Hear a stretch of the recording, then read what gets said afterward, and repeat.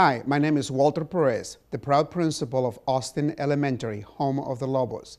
This coming year, we have a fantastic opportunity to be introducing to our campus the Leader in Me program from the Franklin Covey organization.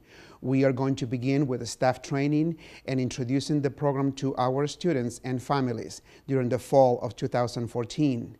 Also, we're looking forward to a great year with more parental involvement, higher academic expectations, and a great successful year.